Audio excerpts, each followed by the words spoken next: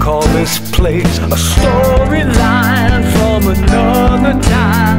We're all strangers with a connection to the past, like some common dream where we all have been. I'm starting to feel I'm in somebody else's.